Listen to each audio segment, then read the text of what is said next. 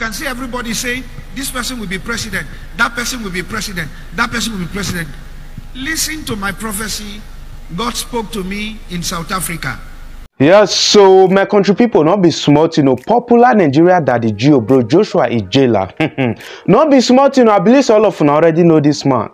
a man of caliber and tikiba, now they see for my screen. So, this man don't come give update like this, so eh, concerning the upcoming election, comes 2023.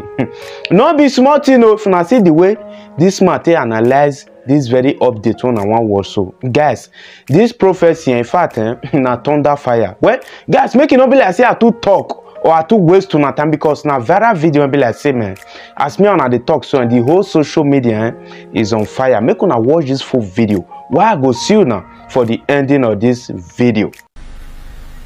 You can see everybody saying, this person will be president, that person will be president, that person will be president. Listen to my prophecy. God spoke to me in South Africa. Go and listen to it very well. I know this is a sensitive moment in my country, Nigeria. I know the moment words. I know this is a sensitive moment in my country, Nigeria. I know the moments are very sensitive. And sometimes, because of the sensitivity of this moment, God spoke to me something very sensitive. Please, wherever you are hearing me, I don't want you to misinterpret God's word for my country. First of all, I want to start by appreciating the youth of Nigeria for their gallant consciousness about the next election, which is in 2023. Nigeria is a project in the hands of God. And for the first time, the youth in my country uh, wake up from their slumber. They are sensitive, matured, calculative, getting their voter's card. May God strengthen you all. The Christian body, churches, pastors are also conscious and they are all praying. Prophets are prophesying. So many school of thought. I want to appreciate everybody for what you are doing for this great country. I want to start by saying to you, early this year, if you remember, January 1st, 2022, God spoke to me that 2023 is a year of mystery. And that I see light in darkness and darkness in light. And that the year is a year of mystery. I still stand on that position of what God said to me. That we need to be very careful. Especially prophets and people that are prophesying. We should be very, very careful because it's a mysterious year. Even me here, if you ask me, I only see in part. And I want to say my part of what God has shown me. So no, some of you will be very interested to see is he trying to prophesy about, is he calling the name of the next president of the country? No. That's not where I'm going to. I'm coming from a perspective where God showed me. This part is what we should pray about. The youth, the Christians, the Muslims of Nigeria. Please, don't take my words out of context. Don't add or subtract from what God is saying. I will speak in parable because I am afraid to say what I saw. So I will put them like this.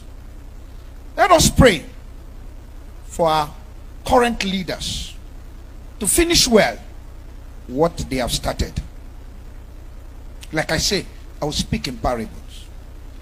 Let us pray for the forthcoming election to go smoothly without any roadblock and manipulation. What I mean by the forthcoming election is the 2023 election. Please underline this word to go smoothly without roadblocks and manipulation. Let us pray against a conspiracy theory that I don't want to explain. I'll leave it that it is pregnant with a lot of meaning. I want to re-emphasize this. Why others are busy talking about who will become the president. This is important once more.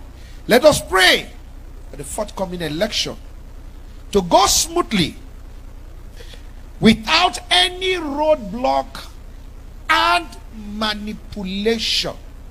Let us pray, in quote, against any conspiracy theory.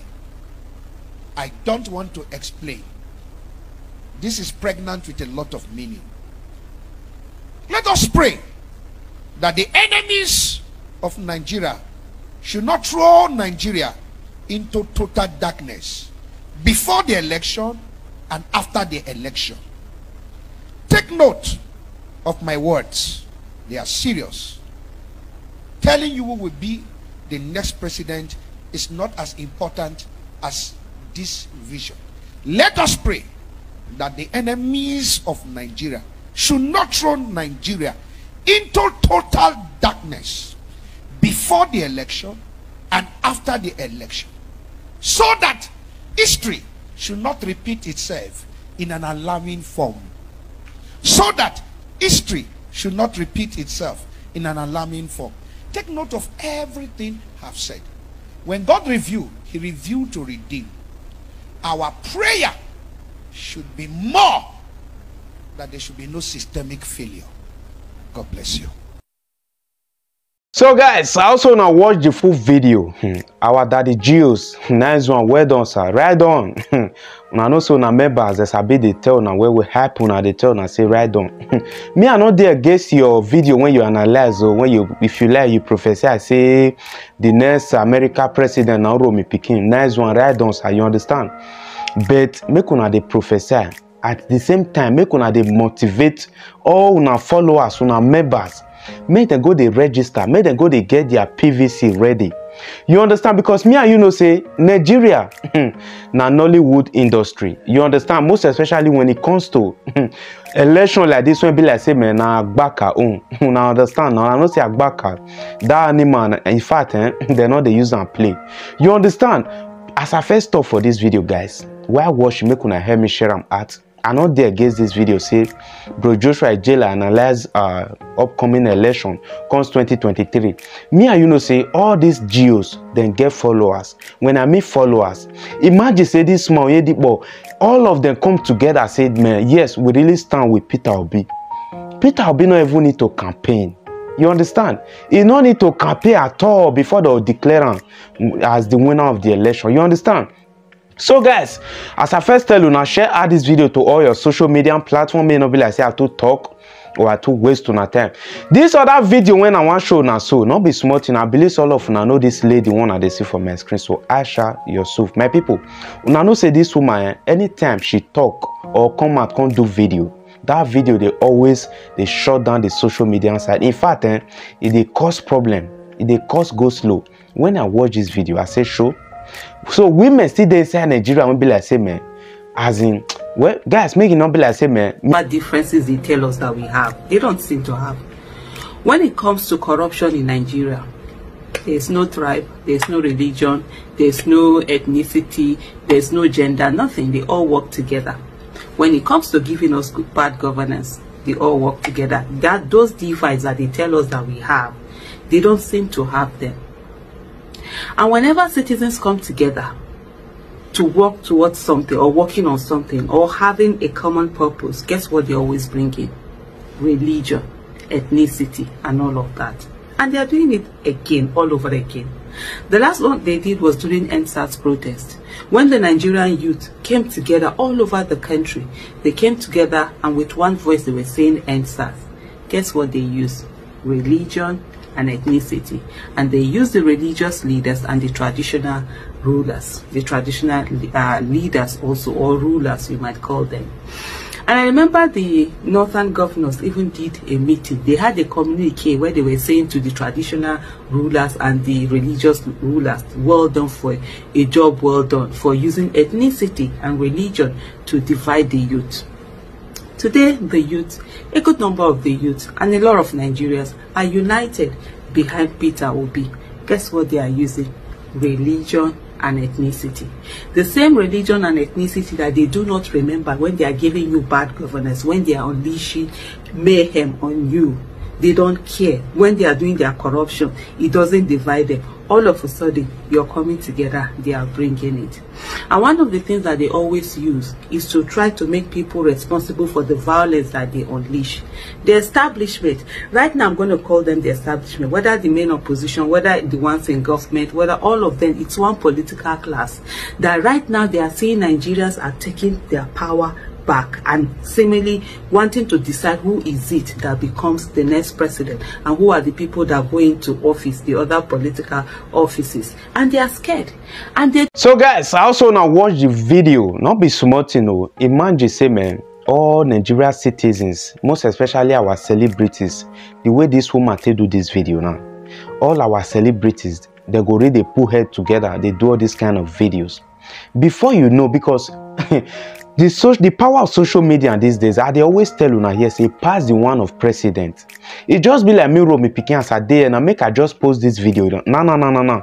Who dey canada o america o austria o holland o everybody go see this video. The whole continent the whole world.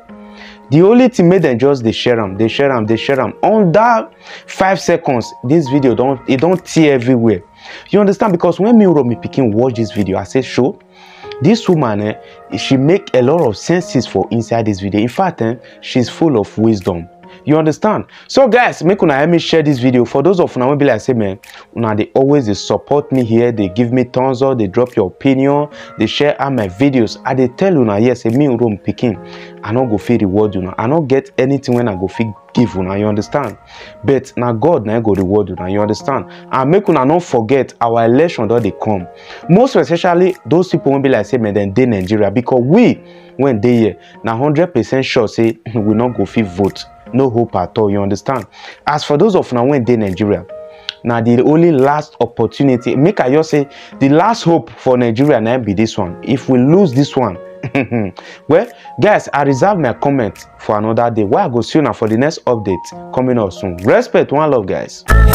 Nigeria is a scam. Hey, nobody believe God though. Everybody not the same.